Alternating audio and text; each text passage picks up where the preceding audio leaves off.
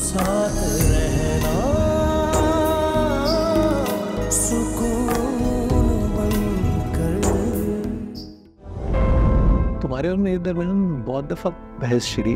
कभी छोटी छोटी बातों को लेकर कभी बड़ी बातों को लेकर। तुम बोलो झगड़ो बहस करो लेकिन खामोश नहीं करो आपने ज़मीन के एवज अपनी बेटी का सौदा करना चाहा था मेरे साथ।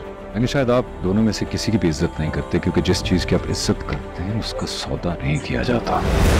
आलिया तमीज से बात करो। वो तुम्हारा होने वाला शौहर है। तो क्या वाकई वो मेरा होने वाला शौहर है या एक मोहरा है जो आपने अपने दुश्मन के लिए खड़ा किया है। खुशी तो बहुत हो रही होगी तुम्हें। मेरी बेटी को मेरे खिलाफ खड़ा करके।